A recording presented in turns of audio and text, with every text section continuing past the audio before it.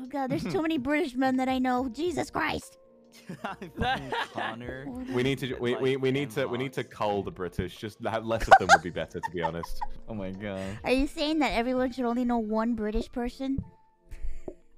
We know that like one British dude who's like, you know, makes Uh-huh. us all mauled, right? Everybody has that one. And for me, unfortunately, I have two in my life. I don't know what you're trying to say now, Shoto. What are you implying here? What do you mean what I'm implying? You It's have just- two. just- Everyone has one. I I don't have any. I, uh, You have one. You have. You have. You have oh one. god. Oh god. I'm ready. I You cook have the pizza. I